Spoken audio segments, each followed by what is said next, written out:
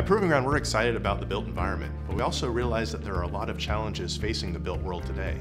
Buildings are expensive, they're risky, oftentimes they take a long time to build and produce. On the other hand, we have data, which is increasingly pervasive, it's cheap, and can provide levels of certainty on the problems the built environment faces. So at Proving Ground, we're interested in connecting builders with data to improve performance of the built world. The client who's excited about their own strategy and who is malleable enough in their culture to create change and welcome how technology could plug into their process is like the best client. It's like the, the, the, most exciting sort of opportunity for someone like me and us to say, you could do so much, here's what it could be.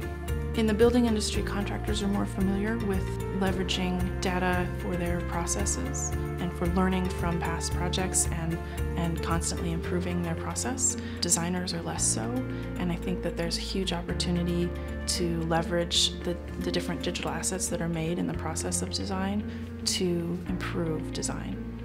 A lot of architects and designers don't even really think about the geometry of their design models as, as being data, but in fact they are. It is actual just raw information and the ability for designers and architects to insert more meaning into that data and then to push that meaning forward gives them huge opportunities to kind of improve their workflows and improve the quality of their output.